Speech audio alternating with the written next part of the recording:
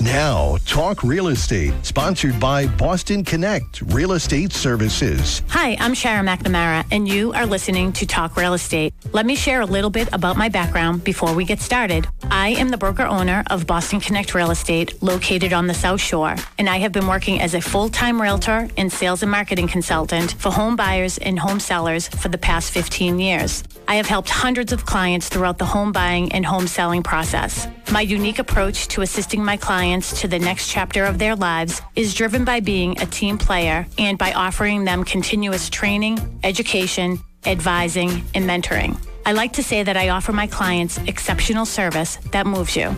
Every week, I will be providing you with real estate topics ranging from home buyer and home seller advice, legal matters, insurance binders, flood insurance concerns, home inspection questions, environmental worries like radon, lead paint, and mold, mortgages and loan programs, staging tips and ideas, real estate contracts, market trends, home values, and more. It's a talk radio show, and sometimes we are even interactive so you can follow along online. If you have any questions during the show, please call 781 837 4900. We love to talk real estate. If you missed any of our shows, or if you want to listen to one again, you can listen on my podcast at talkrealestateradio.com. If you would like a one on one consultation with me regarding your home sale or your home purchase, I'd love the opportunity to meet with you. You can connect with me anytime at bostonconnect.com or 781 826 8000. Now, sit back, relax, take good notes, and let's talk real estate. Hello to all my South Shore neighbors. This is Sharon McNamara, and you are, of course, listening to Talk Real Estate with Boston Connect Real Estate's uh, broker team. We're here tonight. Uh, we all are of us. the broker team. We are the broker team, and we're sounding crisp and clear. I love that. We have Ben back in the studio. Uh, he is manning the phones for us there tonight and taking care of all the switches. We have myself. We have Melissa's over there putting everybody on Facebook, so you can find us on Facebook. Uh, we have Mary here. We have Hello. one of our favorite guests. We have Stephen Cook from Good Imperial. evening. Hi. evening. How are you? Excellent, Can we hear you okay? So we just have to adjust your microphone maybe a little bit because I can't hear him in that mic, but we will take Testing, care of that. One, two, one, two. Yeah. Hmm. There we go. All right. So we can hear Ben. Everybody all good with our checks? I think if we can put our guest up a little bit more, we should be good to go. All right. That sounds great. So uh, we have Steve Cook again from Imperial uh, S- Inspection Services. How are you? Yeah, doing well. I don't Yeah. get to see you that often anymore. No. I see him all the time. Mary Yeah, does. Mary- Mary, Mary does. does, yes. Mary does all the work now. It seems so. I don't get to actually uh, spend time with you. you don't That- get to do the fun stuff anymore. I I get all know. the, I get all the fun stuff. But Mary loves the crawl spaces with the I- spiders I know. and the muck and the mold. No. and- I'm just not a fan of like you know mou- mouse or mice being flung at me. Oh, Yeah, that's do true. That's the only one. Yeah, well, we had Ehrlich here today, and they found a mouse here. And you know what the reason was? He's like, I found out how your mice are getting in, and I said, how? And he said, um, the dehumidifier that you have, and you have the hose going underneath the um, underneath the door. Right. He's like, they're sneaking in through there. Don't they have like no spine? Not spines, but they have spineless. Collapse, no, they have collapsible spines, so they can fit through like Right, they a have no tiny. They're malleable. So they can sneak right through a size of a dime. Yeah. Well, my friend Ben, we were talking about it. Ben was here uh, this week and he was teaching me some stuff about my recorder. And he had told me um, you can put some peppermint. Uh, on cotton balls, peppermint essential oils on cotton balls, That is and you just sort of throw them around, and the uh, rodents apparently don't like that, so they scatter, and you don't kill them. Not that I care about that. I let Ben think I did, but I don't. I It- really it's do. a I polite way of saying kindly get out. But they'll True, grow to like true. peppermint and then they'll kind of raise their families and yeah, I Yeah. know. Oh yeah, Then then we'll have peppermint loving mice. that's right. You know, they'll evolve. I love peppermint, don't you? Yeah, I do. I do. I love peppermint. Can I ask a weird question? No question is weird. Go go Why shoot do me with your always best shot. Why do they give you a peppermint when you leave restaurants? Is it just to like freshen your breath? yeah, it's just so- polite. Is it just polite? Well, I- Probably from all the, all the garlic that you ate. oh, here I'm thinking it's because you've been drinking wine all night and they don't want you you gonna drinking. do? yeah, but we I never just always overdo wondered. it. I was like, oh, this is a nice little candy. Okay, Hmm. interesting. Yeah. It's I like when you go to places and they give you a little like Andes candy mint or something after dinner, like with your bill. Yep. Do they I've do? done- I haven't been to a place like that in a while. Where do they do that? I feel like it's like a Longhorn or a Roadhouse. I think it's a Longhorn. Yeah, Longhorn, or I think it might be Olive Garden. 'Cause Olive I- Garden? Yeah, 'cause I remember Ah. seeing it A little Yeah. Andes Mint. I've been there once, and we have Melissa joining us. Hello, Melissa. So Melissa was just getting us all uh, up to date on Facebook. Oh, do you see the no no I'm doing? Yeah. I, oh, my big cup of tea on our board here. Sorry about that, Ben. I'll pretend I didn't hear that.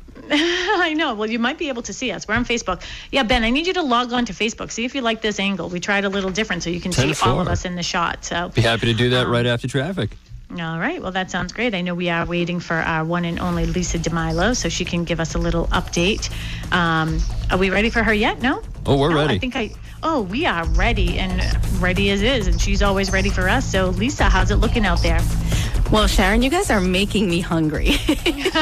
but uh, mint. if you're, yeah, sure, sure. Uh, you're in the thick of it on the expressway southbound. It's a grind from the tunnel down to South Bay. You're back in it from Furnace Brook to the split. Northbound's just slow approaching the tunnel. Route 3 South, that's backed up a bit coming off the expressway. The Sagamore and the Bourne are both moving along, but Route 24 South is just slow coming down from 93. This report is sponsored by Compassion International. You can change the world for a child in extreme poverty through Compassion International. Just text child to 83393 to find out how. Traffic on the nines every morning. I'm Lisa DeMilo in the WATD Traffic Center. We now return to Talk Real Estate, sponsored by Boston Connect Real Estate Services on 95.9 WATD.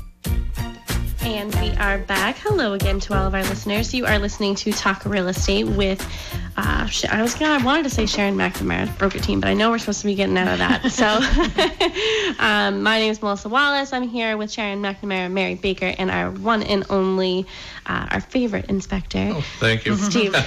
We're not shy at about saying Well, that. We're not, even, we're not shy about saying one and only either. Yeah. Are there other inspectors out there? I don't know. There's Not- a couple of them. There are, but you're our, you're our favorite. But if you have any uh, questions regarding real estate, please call us at the studio 781-837-4900. If you want to hear any of our past shows, you can connect with us on Facebook. Um, you can find us um, there and on Instagram, Boston Connect Real Estate, or you can go to talkrealestateradio.com. So tonight, um, I I asked Steve if he would join us. I don't even know. Oh, I called you because I sent you a picture. Actually, Michelle, that was that it let you in today. Yes. She was the agent who had that. Uh, Oh, the remember heat pump heat or pump or, electric what heat or whatever, whatever it it was. was, yes. We couldn't figure it out. So, but I said, hey, you want to be on the show with us this week? And then I think it was just yesterday. I said, can we talk about environmental hazards? Or was that even Right. this No, morning? you sent me a text. Uh, Yeah. It was this morning. I said, sure. It was right before I called Rob It was right around 3.30 in. in the morning, but that was okay. Uh, I know. She doesn't sleep very much. That's when I have my best thoughts. So um, we've talked about this in the past, but I think it's really important for us to sort of get caught up. Um, Mary added something new to our list, so You're gonna be um, proud of me. Yeah, Ooh. she came up with Chimneys? something new. No. Oh. well, I guess that isn't a smoke is an environmental hazard in and of itself, but Yeah, absolutely. this one is a good one. So we are going to be discussing environmental hazards, so things to think about when you're buying a house, but even if you're not buying a house, we want you to think about you know, if you're in your home, you certainly want to be aware of these things that are going Potential on. issues. Yeah, potential issues because you might be selling your house down the road, but again, they are hazardous, so we want to make sure. So just for a quick screenshot, radon, Mold. lead paint, Paint. I didn't know where you were going with that. asbestos. asbestos, Yeah. and then the- the one that Mary's going to throw into the mix. So we'll give you time to sort of think about it because I'm not sure if you know about it. I never heard of it. Vermiculite insulation. Oh, yes. And we have a uh, link on our website talking about Is that uh, good? vermiculite. You got it. Is that you? yeah, well, Uh, no, Oh. Is completely different. That's uh, formaldehyde insulation. oh, okay. I, I got well, my they don't even, they don't use up. that anymore. Well, they don't use vermiculite anymore either. But UFI, isn't it like when it was put in? Okay, well, I'm getting, jumping ahead of myself. No, myself. UFI is urea formaldehyde insulation. That's what the acronym is, uh, stands for.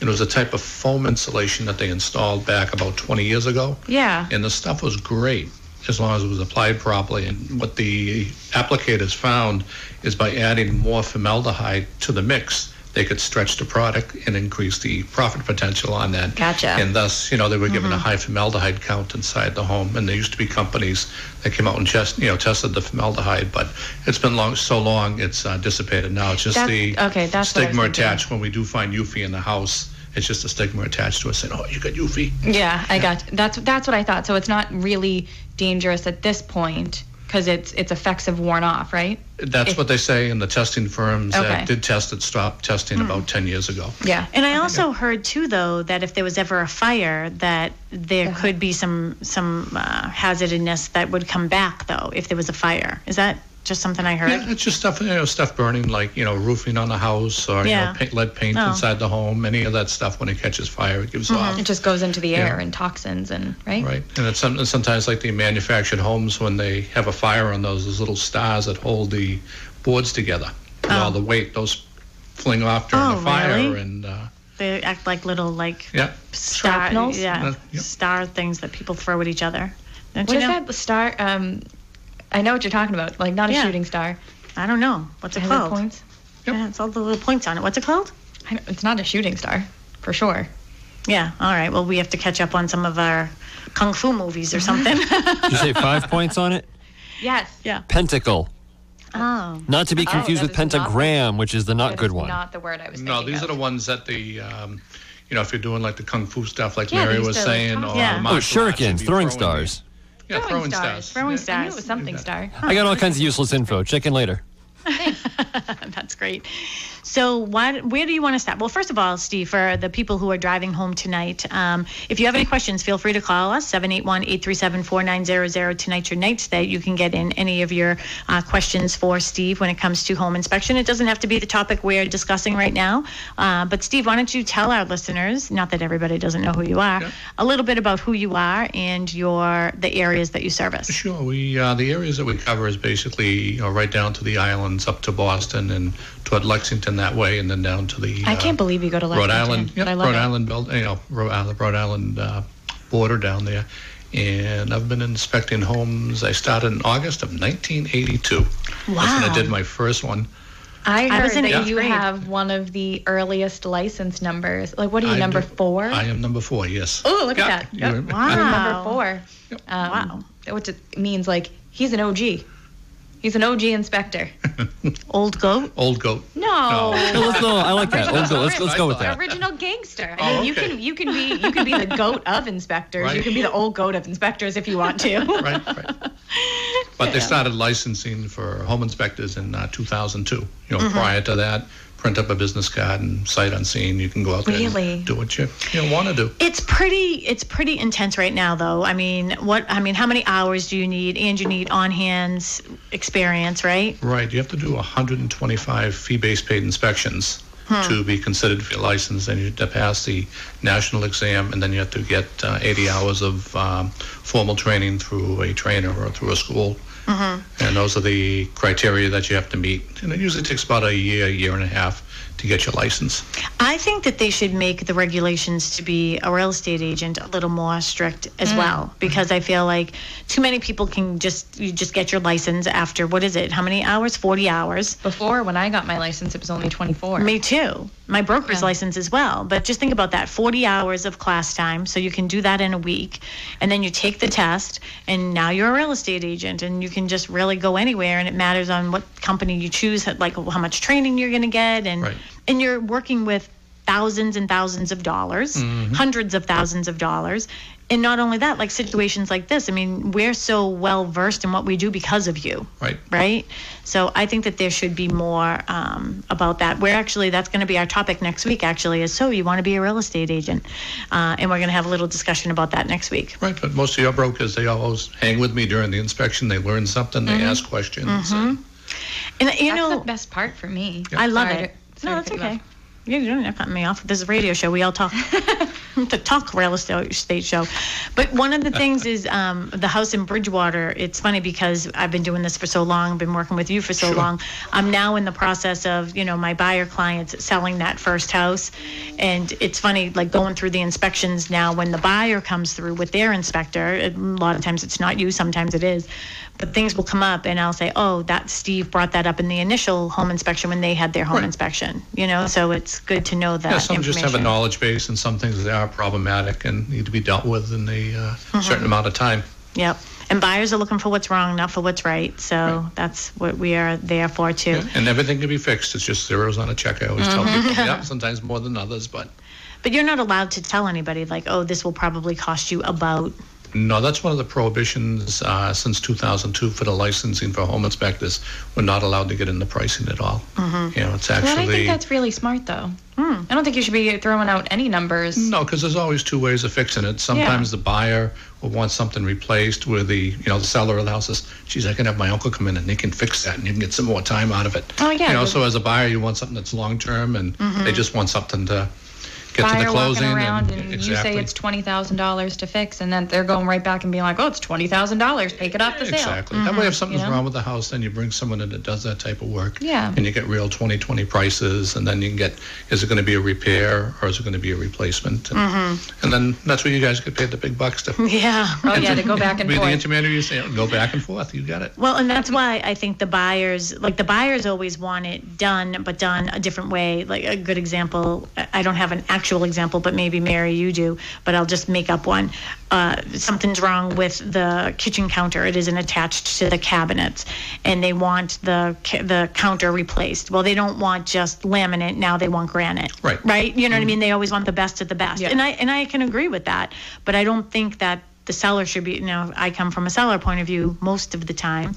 Um, I want to. Um, I don't want my seller to spend that money. Right. Yeah. But I've seen people, you know, negotiate a doorbell that doesn't work. You know, so it's all up to the.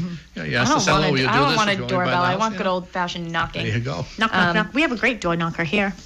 Speaking of knocking on our doors, we have a caller. He's JT, um, and he's on the phone. He's got a question. I don't know if it's for us or for Steve, but Sure. JT, are you, th- are you there? Yes, I am. How are you? Hey, Good. JT. How are you? Doing all right. Hey, I've got a question for you, uh, for the inspector.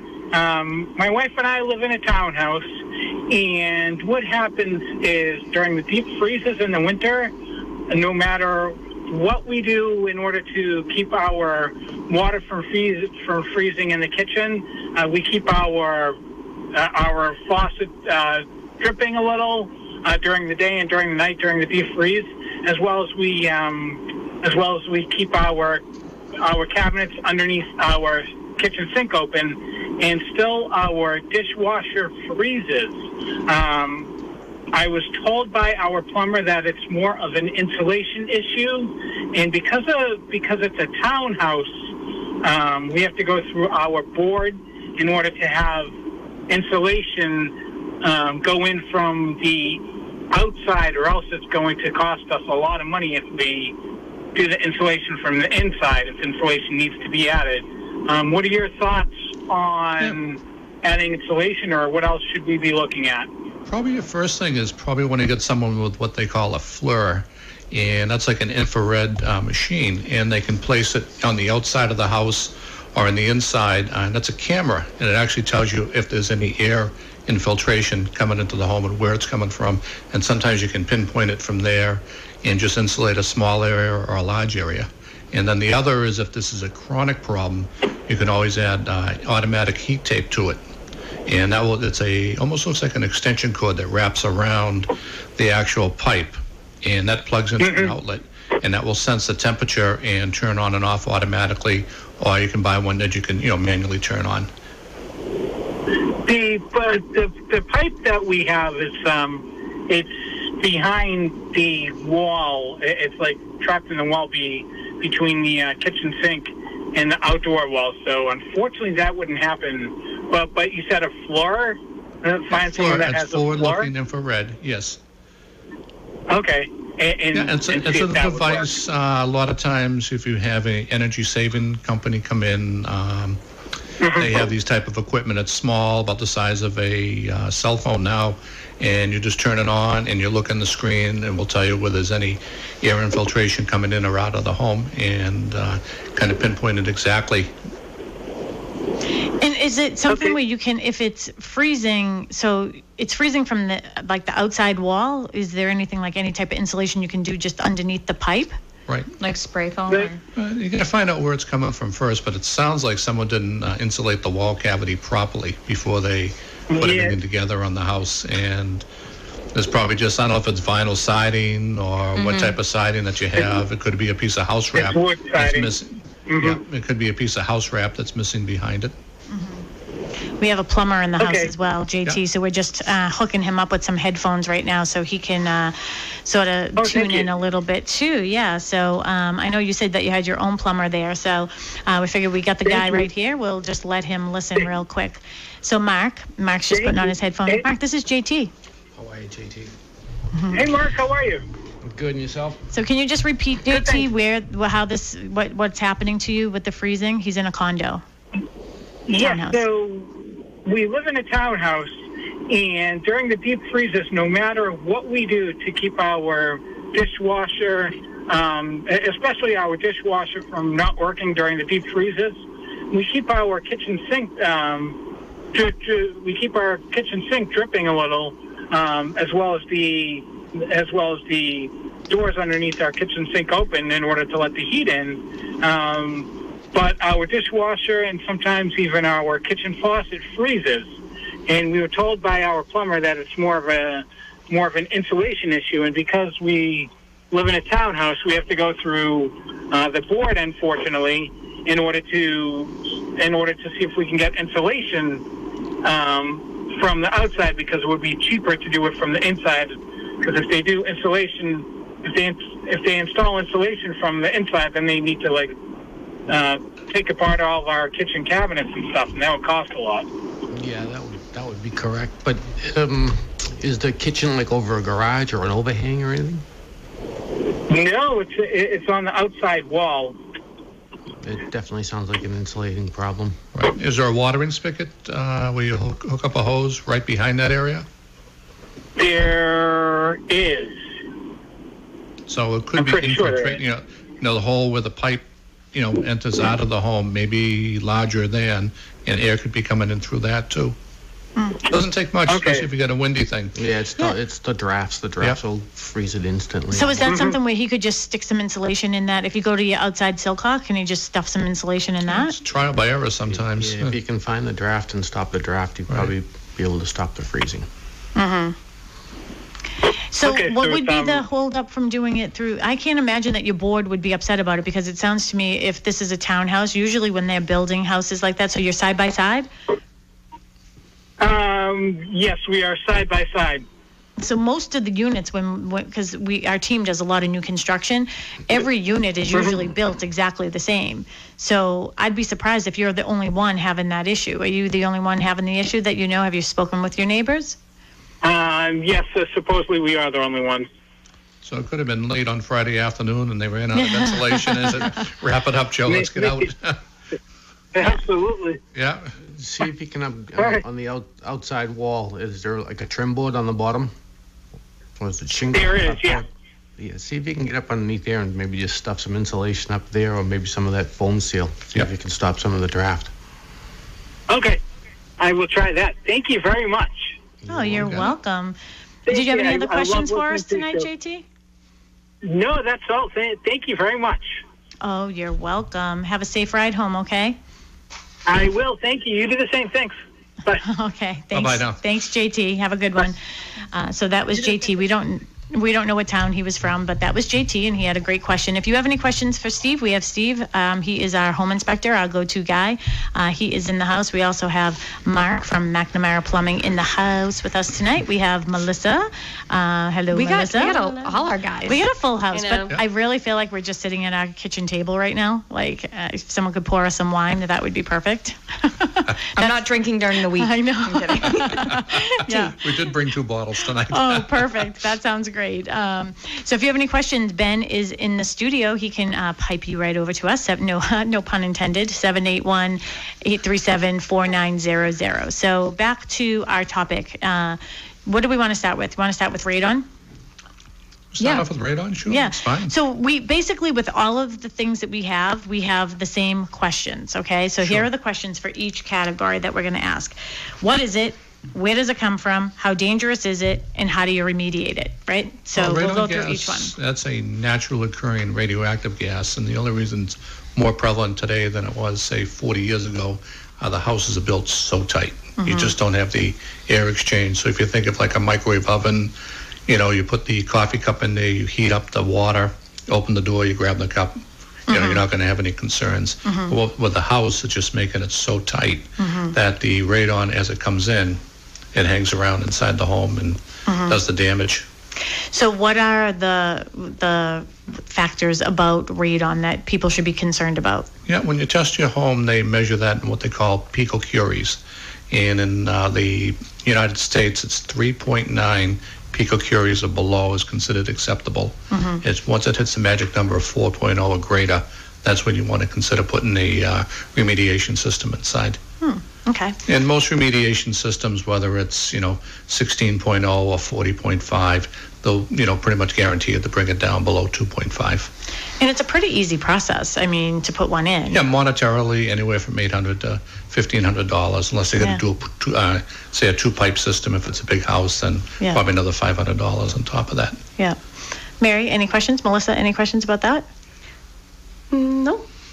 factors with um, radon. So settlement cracks happen a lot, like in the in the basement. Sometimes Right, they so- happen in the foundation. Can that release more radon into the house? It or- can it can allow uh, radon to come into the home. So if you look at a crack in the you know basement floor, say it, it's a sixteenth of an inch in, Yeah. in width, that's like a hundred mile wide opening for radon gas to come in. Yeah, because they're probably super, super tiny. Yep. So when they do do the uh, remediation systems inside the house or the reduction systems, they seal all the cracks, and then they seal where the floor joins up with the foundation wall. Oh, And all you- the way around. All the way around the perimeter. Oh. And then the others, if there's a sump pump opening, they'll put a uh, seal cover on the top of that. Yeah, a client of ours just had that done actually. Right. They they it was almost like a plexiglass cover. Right. Um, yeah, I was like, oh, how how does that work? Yeah. Yeah. That way, when you're testing for radon, you always go more I should have had toward. you bring a machine tonight, and you could Yeah. have done here. That would have been have, good. yeah. Oh, we could have done hook that that live. up.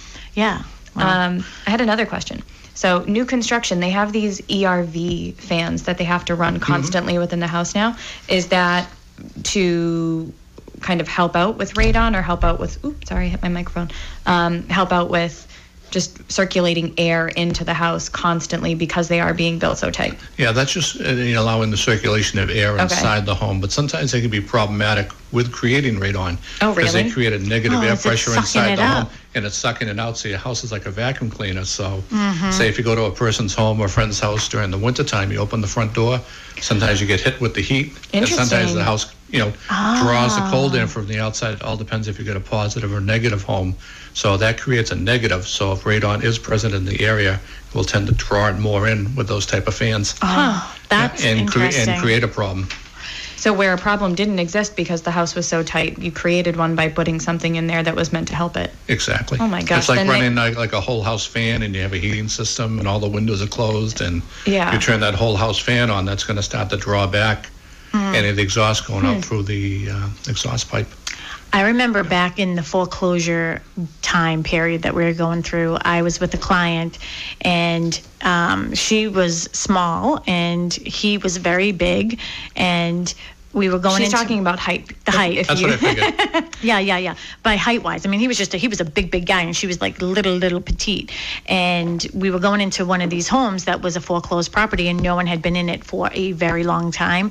And I went in first because I, you know, had the key, the lockbox, and everything. And when I opened it up, that negative pressure thing that you were just talking about, I got smacked in the face with Right. Mold spore spores and he was behind me and he was really tall and she was behind him the two of us got so sick i've never had a sinus infection quite like that in my life and now i'm super sensitive to the mold Right. so that negative pressure thing is real Right. We have that sometimes on the home inspections on some of the stuff that's been shut up for a while. We go in there and a lot of times it doesn't bother me, but all of a sudden I'll get home, I'll, I'll call the broker. Did you get sick on that house? Mm. Oh, yeah. I did. I've been, you know, sneezing and, you know, yeah knock Well- on wood, I haven't gone into any of those yet. Yep. yeah well you have we had one in duxbury with the bank Oh, owned true, remember and you true, went true. down there and you're like sharon don't even bother coming down here like you won't last a minute But one of the other things that I'm noticing or I've seen, so one of my builders has done it in the past. So they're trying to be proactive and they're like, oh, I'm going to put in the pipe already for radon. So like it's underneath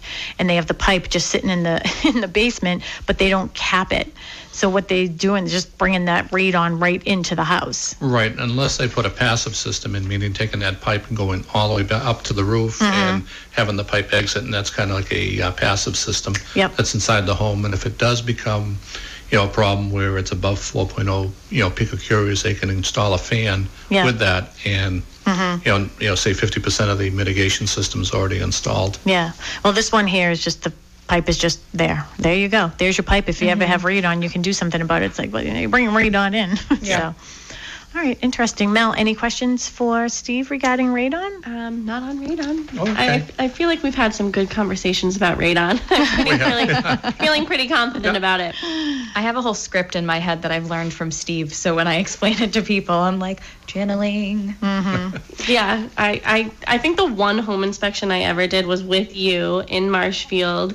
And I just remember when we went down into the basement, I was like, oh, I can explain this to them because I've heard Steve talk about it. So I did. Yeah.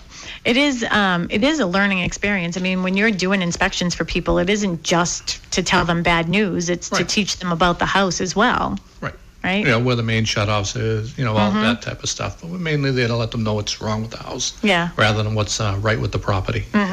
Absolutely. I heard you say that to a client recently too, and it was one of the first times I ever like keep in mind this Right. is this 'Cause is what I'm sometimes you go here into for. a troubled home and I'm Yeah. just sitting there and the first 20 Like- things I look at, 18 are broken and the other two don't, you know, I they know. don't work. I'm not here to make you feel warm and fuzzy.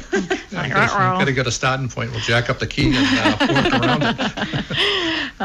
Again, if you have any questions for us, you can even, uh, if you're on Facebook and you're watching us, hello to everybody there. Uh, you can send us a question through uh, Facebook, and we'll be sure to answer it that way. But you can also call Ben at the studio, 837 uh, 4900. That's the area code 781 837 4900. Mel, what is our next one that we should talk to Steve about? We are going to be talking about lead paint. So, again, same questions. What is it? Where does it come from? How dangerous is it? And how do you remediate it? Yeah. Uh, lead paint, you generally find that in houses that are built uh, prior to 1978. And the way that they test for it is what they call an XRF. And it's an x ray machine. And when you fire it up, you place it on the surface. Um, and it will read up through 20 layers of paint without damaging anything. Oh, 20 layers. Yeah. And in Massachusetts, uh, the action level is 1.0. So anything 0.9 on the machine or lower, that's considered a acceptable amount of lead. And most of the machines read, you know, 0 to 9.9. So once it hits that 1.2, 1.3 or more, that's considered elevated lead. And dependent where it's located is how they uh, remediate it. And we know on your website you have a link right to the state website where you can check. Mary and I went and did a CMA uh, analysis for somebody recently, and it's an older home. And they're like, well, you know, we don't know if there's lead paint or not. You know, it's an old house. We're figuring that there is. And it was like, well, you can't just assume that there is. So Mary went right online and went to the state registry and, you know, looked up the house, and there, there was nothing recorded Right. that there was. So So it's never been professionally tested. So anytime that we do do a uh, lead paint inspection, whether it be a full one or a lead determination, uh, once it's all said and done, we have to file the cover sheet with the state, and then they log that into the uh, Massachusetts database. So, say two, three years down the road, you know, someone wants to find out if the house has ever been tested, if documentation and stuff got lost, uh, they can look it up there, find out who the inspector is, and see if they can get a uh, copy of the report. nice. And we did a whole show on just lead paint, so that's something that we can do maybe in the spring Right. too. Is just talk about lead paint because there's so many nuances that go along with that, And the I regulations new changed, regulations, right? And the regulations Yeah. changed in December of 2017, so now they go more toward the intact standard rather than abating things. Mm-hmm. Yeah. And there's, you know, all these other regulations too with like if you have a garage and if even if it's detached and everything else, right? There's just so Right, if much. it's a detached garage, just the outside of the garage needs to be brought into compliance. Mm-hmm. But if it's an attached garage and it has, you know, a passageway into the home, then the interior of the garage you know, has, to be treated done. like a room. Okay. I know Mary was talking about your machine the other day, and Yep. I was like, and I think he said it was like fifteen thousand dollars or something for that machine. How Pretty much, right around there. Yeah, right? I and mean, everything really else that goes along with it, and then about every 15 months, you need to have it uh, recharged, uh, a new radioactive source put in it, and that's right around 2,500 to 3,000 Really? dollars. Yeah. And then your radon machines. Oh, can we go back to radon for a second? Sure. Okay. I'm glad you're keeping up with me. So, um, with the Not really. radon, I got my crib notes down below. well, it's so funny because Mary's like, Steve's just so cool, like a cucumber out there. And we're like running around trying to get ready for the show. I go, he has been doing this with me for a long time. He's very used to it. Um, but I think it's really important. We always suggest to our clients that they use the machine versus the canisters. Right. And one of the rules or policies for Boston Connect Real Estate is, is I don't allow our buyer agents, our agents who work as buyers agents or sellers agents, to go to the house and pick up those little kits and put it all together. I just feel like he who held it last is Responsible. yeah, you know what I mean? You don't know if you're putting it together. You know, I'm not a chemist or a scientist, even though it's just putting caps on. Not my responsibility. But I really like the machine. So can you tell the difference between, tell us and our listeners the difference between the two? Right, there's a couple different ways. One, you can do it as electronically, and we use a, um, it's a radon machine, and you basically place it in the home. It has to stay a minimum 48 hours, and what it does is collect the data on one-hour intervals. So when you come back after the 40 hour, 48 hour placement, you plug either a laptop or a portable printer into it. It will, you know, uh, read out the actual uh, test period and we'll give you 48 plus results on there.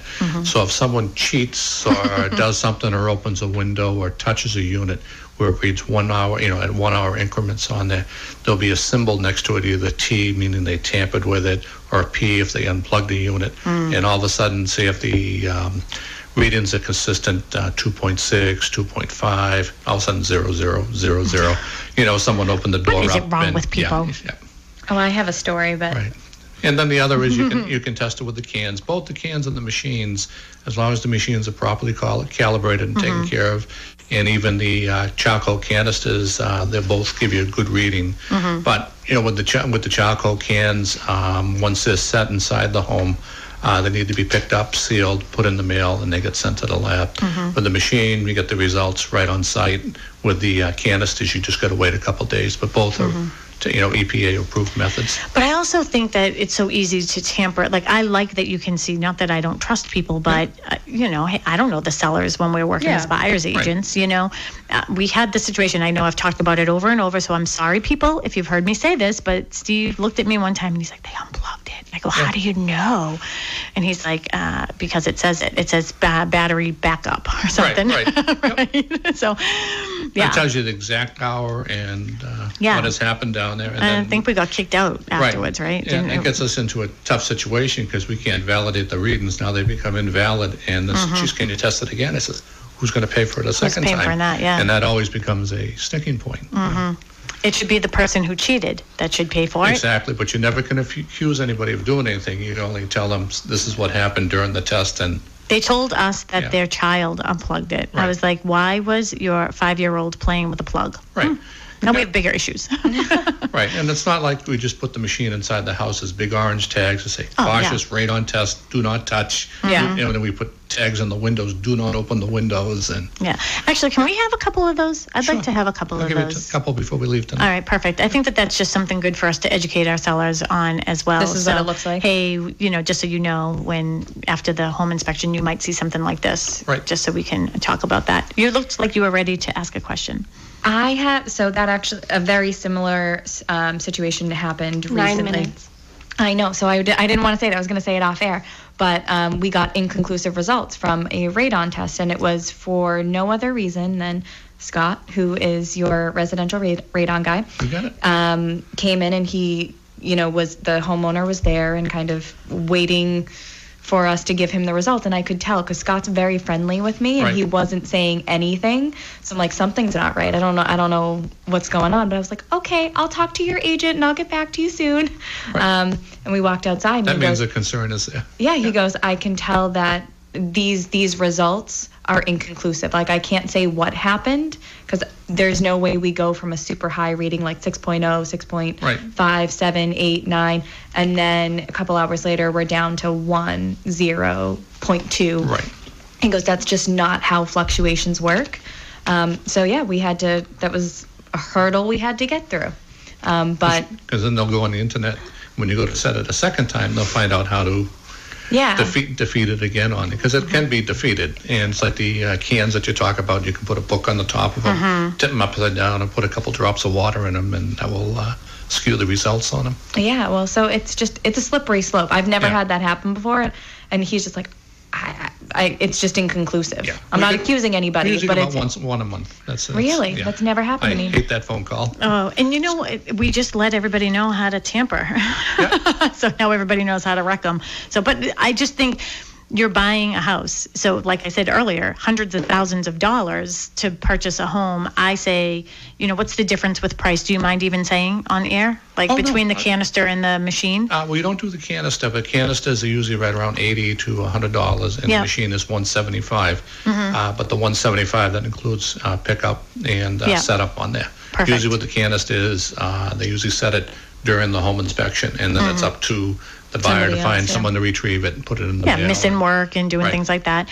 I think it's worth the extra hundred dollars or whatever it is because you know you have the most accurate information and you know it's being calibrated and you're doing it the right way. Right, we so. cal- calibrate the machines once a year, plus we are uh, licensed, you know, by the EPA to uh, Mm-hmm. perform these tests. All right, perfect. Um, do you guys want to talk about how it's a disclosable item? Yeah, we can discuss that. Yeah, so you want to take it? Do you want to take it? What do you want? Do you want to do it? No, ah. I'm asking you guys. Oh, so one of the things is is when you're a listing agent and then the buyer comes in and does the inspection, it will if it comes back with high radon. The seller really is in a predicament where it's like, okay, you're going to spend the. I've never seen one over twelve hundred dollars. Are you going to spend the money to just get it remediated? The buyer's going to be happy. Um, you know, it's a second leading cause of lung cancer after smoking. Um, you know, to have it done. If not, it is something that we do have to disclose after the fact. So if that buyer decides not to go forward because you wouldn't put in the mitigation system, we do have to then let people know we did get a high radon Right. reading. An elevated one or a high Yeah. one. Well, really, mm-hmm. all of these that we're all of these environmental hazards that we're talking about do end up being disclosable items. So Right. if they aren't mm-hmm. taken care of, and or if somebody was trying to hide them, not that we would ever do that, but if it's a for sale by owner or something like that, these are this is information that a buyer has the right to know, and Right. we have an obligation as real Yeah. estate um, agents to tell them. And then when we were talking about lead paint, I remember one time um, somebody, I had a, a home and it was an antique, and the lead paint, the buyer did a lead paint test, and it came back negotiate how that was going to be, you know, taken care of because the seller doesn't have to. They do not. no. But the buyer, if they're going to be moving in with somebody under the age of seven, right? Six. Six? Under the age of six? Then it becomes their responsibility to bring it into compliance. Exactly. So the sell, they couldn't come to terms with that. But then I said, well, I have to disclose now that you have lead paint. And they were like, well, we don't want you to do that. And I was like, I legally have to. And they said, no, we don't want you to do that. So I, I had to quit Right. because I'm not willing to lie for somebody. I'm not going to put my license on the line for somebody to lie No, like that. you. No. Right. Then somebody gets lead paint poisoning and life is not good. No, so, um, sad story. anything else about lead paint? That, that I think that that's such a big one that we have to come back to that another Right, night. they're all biggies. You could spend, you know, two hours on each subject, but this I is a know. good way to touch base on each one of them, get a little bit of knowledge on it. And that's just our five minute warning. So I want to talk real quick about Mary's. We'll skip the mold because that in itself is another story. Beast. It's a beast. Yeah. So Mary, why don't you bring up the one that you were concerned about? So it's vermiculite insulation. I've only run into it once as a buyer's agent, but recently, guess who has it? You have vermiculite I, in your house. I yeah. have it in my attic. So I don't know much about it. Um, so Yeah. again, what is it? If you talk to a lab that tests vermiculite, Yeah. they tell you in Massachusetts that all vermiculite is to be considered asbestos. Okay, so it's asbestos insulation essentially. Right, because when you do send out the sample to the lab, and uh, we have a lab that's up in Woburn that does testing for that, uh, what you're testing is just that one little baggie that you're sending up there. You're not doing the whole, say, 800 square foot in the attic, so you're not getting a good sample. So they could have used different stuff, but they usually just consider it to be asbestos. Okay. You know, by sending them a uh, sample, you're just kind of confirming, you Mm-hmm. know, what it is. But So we had Mass Save come in, and um, they did an audit on the house, and this Yep. was months ago. They went up into the attic and they said, you know, we can't do anything, and we can't do anything insulation wise because our house was built in the 1800s, Right.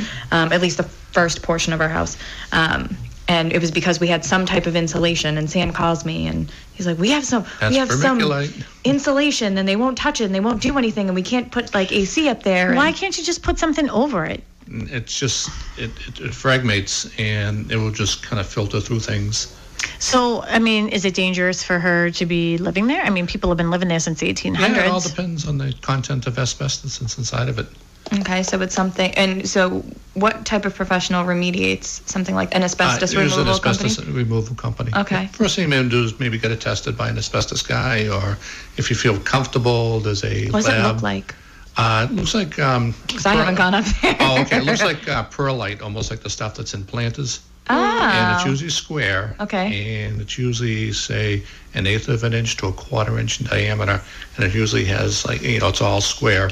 And it's usually gray to. I'm gonna send you a picture color. later. Yep. I'm gonna Sometimes. like stick my head up there with a mask. Right, and depending where it was mined, sometimes there's mica in it. So if you put a light on it, it will, it will uh, kind of flicker too. Interesting. Yep. So when do they? Oh, sorry. Yeah, go ahead. When did they stop using that? Oh, they used it up to say 20 years ago, 25 years ago. Mm. So, if- what about for you, though? I mean, what about these hazards to you as an inspector? I mean, do you say, I'm not going up there based on this, or? Right, if it's like a, you know, if we're going into a crawl space and you have the white asbestos on the pipes and stuff down below, or, you know, rodent droppings in the crawl space, we don't go in there. Oh, really? Yeah. Because you can just see it and just say, you know, there you go. I can see it. I'm not. I'm not gonna go crawl Right, around but, in it. But if you- you're checking for structure and termites, you know, just an area that's Yeah. kind of a hazard to go inside there. Okay. Mary, um, Christopher, Chris McNamara is licensed asbestos. He, and he, Oh, he works for the town of Braintree for the school system, but I know he's licensed, so maybe you could uh, talk to him one weekend or something and ask Yeah, him, pick his brain on it. So, yeah, because that's sort of dangerous. oh, absolutely. We had no idea. We were. Doesn't um, sound cheap to get rid of. I, I know it's not. It's Guess not. we're not We- getting central AC. Is it over Melissa's bedroom? No, it's actually, so it's only in the. We have no attic space actually. The only attic space that we have is in the new addition, and the um, older portion of the house. So it's a very small surface area. Oh gosh, I've done that like four times today. Um, so it's not. I'm hoping it's not going to be too bad, but at But the if you same talk to a professional, they kind of let you know what the exposure and okay. how bad it is, or whether you got to pick the tent out So- back and. oh, yeah. So. So can I sleep upstairs? Should I not sleep upstairs? Am I going to die? You've Can been you there, you've Just been don't there. sleep in the You attic. have to have a personal conversation with Steve after uh, the show because sorry. we need everybody to know how they can get in touch with Steve if they want to have a home inspection. So, Steve, thank you again. Again, this is Steve Cook from Imperial Inspection Services. He's the best of the best. He wouldn't be on this show with us right now if he wasn't, and uh, he's a good friend. I feel like I can say that. Um, we love having you on our Boston Connect Real Estate family team. Um, how can people get in touch with you if they need to have an inspection or have questions for you? Sure, they can reach us by calling 1 800 440 1141. Again, 1 800 440 1141 or Imperial Inspection Services. Perfect. And com. we can always get, get get all this information on bostonconnect.com. Have a great weekend, everybody. Thank you, Ben. Bye. You're welcome.